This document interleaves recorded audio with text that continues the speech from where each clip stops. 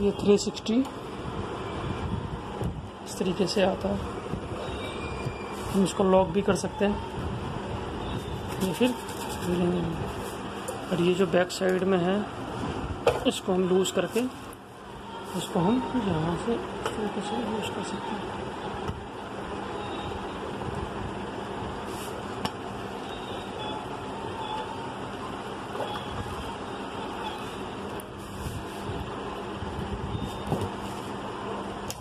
meus.